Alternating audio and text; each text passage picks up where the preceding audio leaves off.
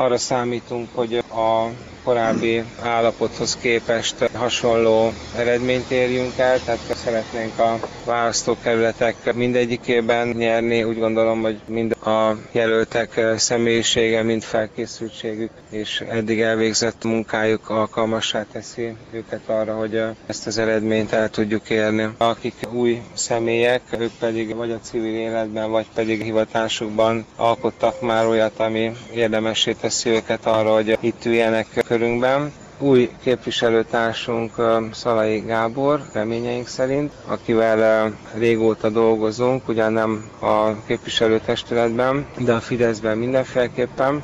A Fidesz városi szervezetének egyik alelnöke, aki a vállalkozói szférából érkezett és nagy tapasztalatokkal rendelkezik ezen a területen. Engert Jakabné, aki szintén új képviselő. Tulajdonképpen az elmúlt időszakban a civil szerveződések egyik motorja volt Kecskeméten. Bemutatnám Mák Kornél urat, aki a KDNP helyi elnöke, az egyik legnagyobb iskolai egységünk vezetője. Civil szervezetekben működött együtt, őt is a polgármesteri funkcióban szeretném majd jelölni, ha úgy hozza sors.